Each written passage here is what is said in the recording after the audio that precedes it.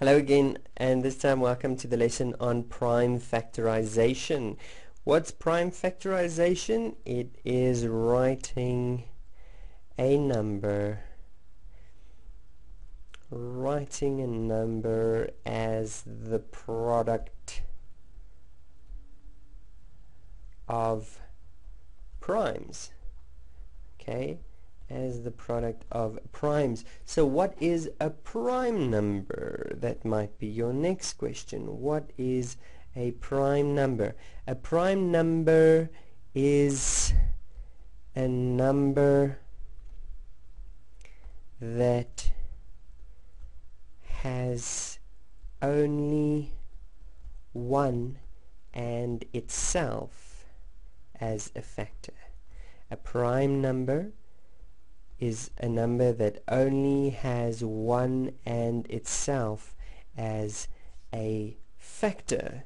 And now you might ask, okay, so what is a factor? A factor is a number that divides without a remainder.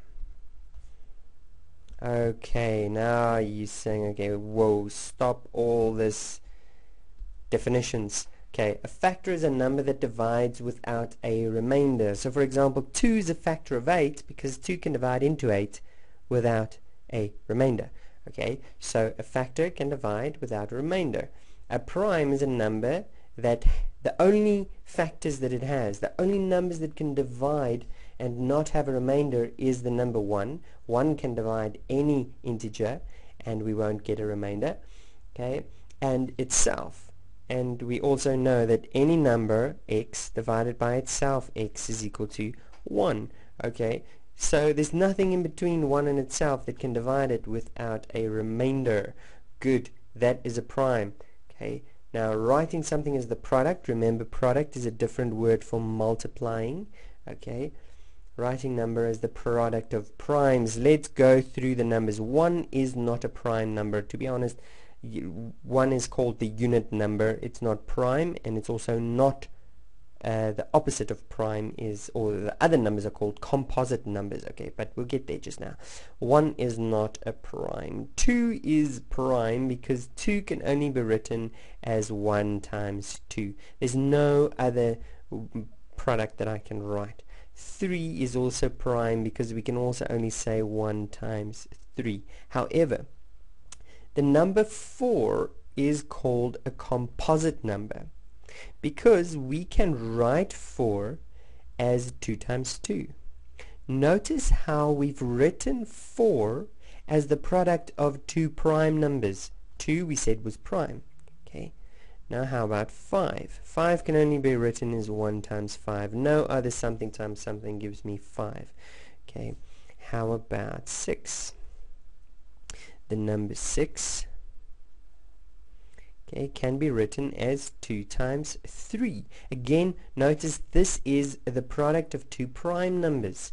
Okay, and this is again called composite. These are called composite numbers.